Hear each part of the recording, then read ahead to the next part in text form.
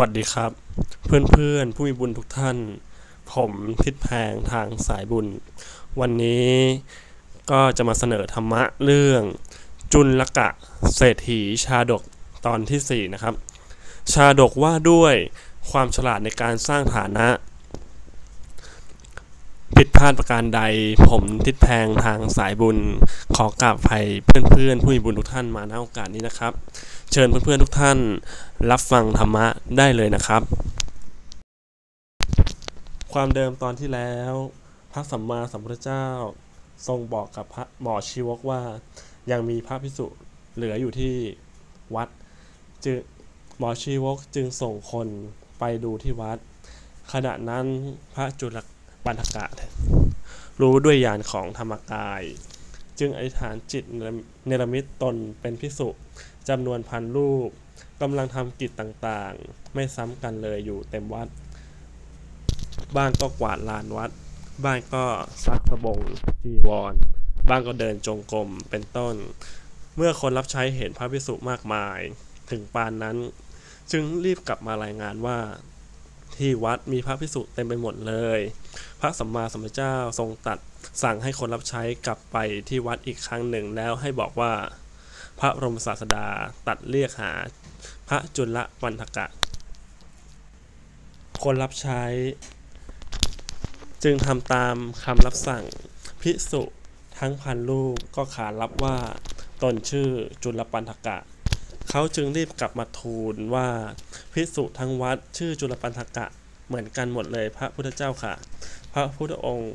จึงตัดสั่งให้คนรับใช้กลับไปอีกเป็นครั้งที่สามและให้ค่อยจ้องดูให้ดีๆว่า ถ้ารูปใดขานรับขึ้นก่อน ให้จับมือพระพิสุรูปนั้นไว้คั้นคนรับใช้ทำตามรับสั่ง ภาพภิกษุรูปอื่นทางวัดก็หายไปทันที คนรับใช้จึงนิมนต์พระจุลปันธกะไปอย่างบ้านหมอชีวกะ เมื่อพระจุลปันธกะถึงแล้ว พระสัมมาสัมพุทธเจ้า ตัดสั่งให้หมอชีวกะจัดพัตตาหารถวาย และกำหนดให้เป็นผู้กล่าวอนุโมทนาอีกด้วย วันรุ่งขึ้นพระพิสุประชุมสนทนากันในธรรมสภา ต่างพากันสรรเสริญพระคุณขององค์สมเด็จพระสัมมาสัมพุทธเจ้า เป็นอเนกประการที่ทรงพระปีชาสามารถช่วยให้พระจุลปันธกะเถระบรรลุธรรมเป็นพระอรหันต์พร้อมด้วยปฏิสัมพิทายานสี่แทงทะลุปุดโป่งในพระไตรปิฎกตลอด พระธรรมขันธ์84,000 ชั่วระยะเวลาเพียงเล็กน้อยก่อนฉันพัตหารเท่านั้น คั้นพระสัมมาสัมพุทธเจ้าทรงทราบความแล้ว จึงทรงระลึกชาติด้วยบุพเพนิวาสานุสติญาณและตัดว่า ภิกษุทั้งหลาย ตถาคตได้ช่วยพระจุลปันธกะ ไม่เฉพาะแต่ในบัดนี้เท่านั้น แม้ในการก่อน ตถาคตก็เคยช่วยให้พระจุลปันธกะ ได้เป็นเศรษฐีมาแล้วเช่นกัน แล้วตัดเล่าจุลกะ เศรษฐีชาดกดังต่อไปนี้ ครั้งหนึ่งในอดีตการ มีเศรษฐีผู้หนึ่งชื่อ จุลกะ เป็นผู้มีความสามารถพยากรณ์เหตุการณ์ ล่วงหน้าได้อย่างแม่นยำโดยอาศัยเหตุจากนิมิตต่างๆ วันหนึ่ง จุลกะเศรษฐีนั่งรถม้าผ่านมา เห็นหนูตายตัวหนึ่งอยู่บนถนน พิจารณาดูแล้วทำนายว่า ถ้าใครมีปัญญา ย่อมสามารถ นำหนูตายตัวนี้ไปเป็นทุนประกอบการค้าให้เจริญรุ่งเรืองกลายเป็นเศรษฐีได้ในอนาคต ชายหนุ่มยากจนคนหนึ่งได้ยินเข้า ก็คิดว่าท่านเศรษฐีผู้นี้เป็นบัณฑิตย่อมไม่พูดไรพร่อยๆ ถ้าไม่แน่ใจจริง ๆ แล้วคงไม่พูดเช่นนี้ จึงนำหนูตายตัวนั้น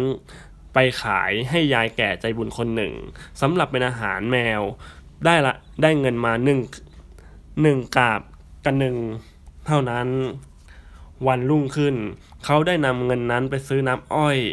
จากต้นแหล่งซึ่งอยู่ทางนอกเมือง เพราะราคาถูก แล้วนำไปตั้งไว้ที่ประตูเมือง คู่กับน้ำดื่มอีกหม้อหนึ่งเพื่อคนเก็บดอกไม้กลับมาจากป่ากำลังกระหายน้ำเต็มที่ผ่านมาก็ชวนให้ดื่มน้ำนั้น คั้นหายเหนื่อยแล้ว คนเหล่านั้นก็ได้ให้ดอกไม้แก่เขาคนละ กรรมเป็นการตอบแทน วันต่อมาชายหนุ่มนั้นก็นำเงินที่ได้จากการขายดอกไม้ไปซื้อน้ำอ้อย และจัดเตรียมน้ำดื่มเช่นเดิมอีก คราวนี้เขานำไปให้คนเก็บน้ำคนเก็บดอกไม้ถึงในป่าเลยทีเดียว จึงได้รับดอกไม้ตอบแทนถึงครึ่งหนึ่งของที่เก็บได้ แล้วนำไปขายเช่นเคย เขาทำอยู่อย่างนี้ไม่นานก็สามารถรวบรวมทรัพย์ได้ถึง 8 กหาปณะ ส่วนว่าเรื่องราวของเขาจะเป็นเช่นไร เขาจะสามารถกลายเป็นเศรษฐีได้หรือไม่ ตามคำพยากรณ์ของจุลกะเศรษฐี ก็ขอให้เพื่อนๆมาติดตามตอนต่อไปได้ในวันพรุ่งนี้นะครับ วันนี้ผมติดแพงทางสายบุญ ขอกราบลาเพื่อนๆไปก่อน ผิดพลาดประการใด ผมขอกราบภัยมาณโอกาสนี้ และอย่าลืมกดติดตามเพื่อเป็นกำลังใจให้กับช่องทิศแพงทางสายบุญได้ทาง YouTube นะครับ วันนี้กราบสวัสดีครับ